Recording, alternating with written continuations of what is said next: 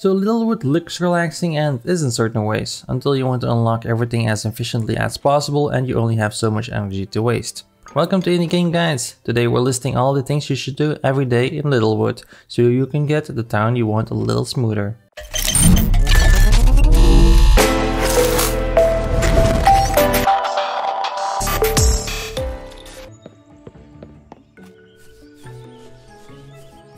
First thing you need to do is to go get yourself a buddy. Now run around your town, decide which of your villagers you want running behind you all day and ask them to hang out with you.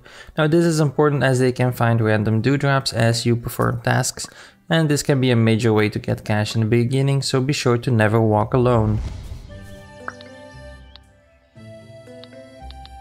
Try to talk to all villagers since you never know when they may have a blueprint or some other kind of gift for you. Now while you're talking and deciding on your buddy for the day, decide who you want to give a compliment today since you only get one to give each day.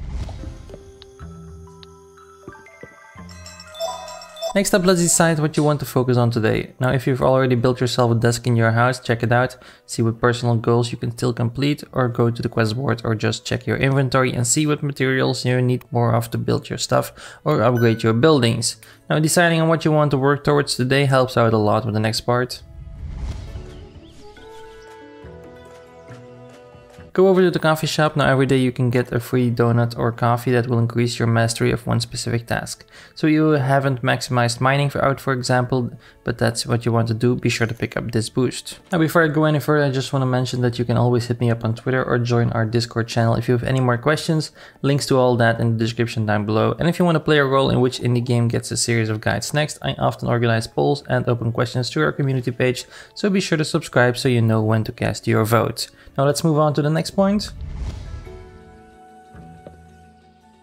Are you still running around town? Great. Check out every building and donate what you can.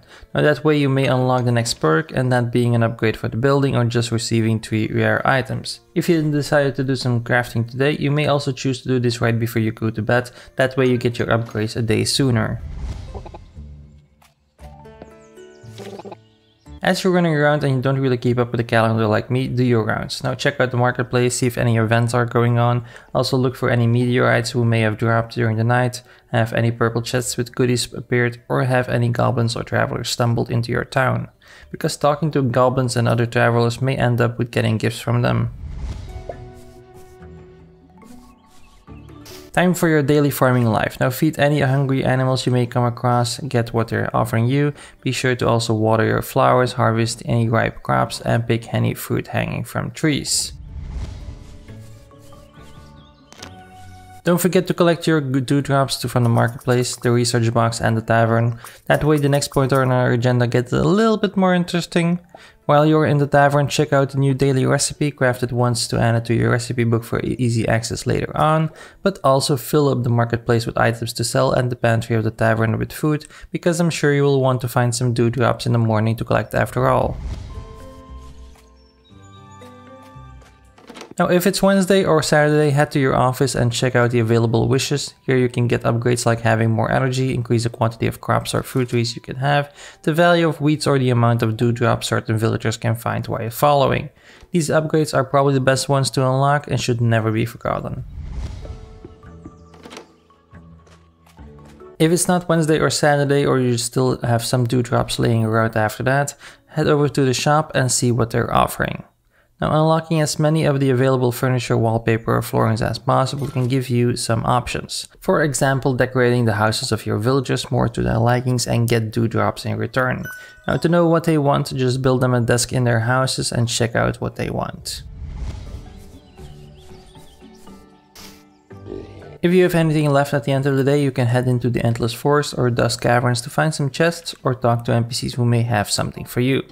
Now all this takes no energy and when you visit all these places don't forget to donate whatever you can at these points as well. After that just focus on what you decided to focus on for that day, go make use of that boost you got at the coffee shop and don't forget, when you're out of energy just stop whatever you're doing and return to your home for a good night's rest, because you'll need it when the cycle starts back again the next day. And that's about everything you should do each day to get your town upgraded as quickly as possible. Are you feeling the pressure yet? I hope you found this guide useful and if you did be sure to give the video a thumbs up so other people can find it too, and consider subscribing if you want to see more guides from your favorite indie games, just like this one. Thanks for watching, and I'll see you in the next one.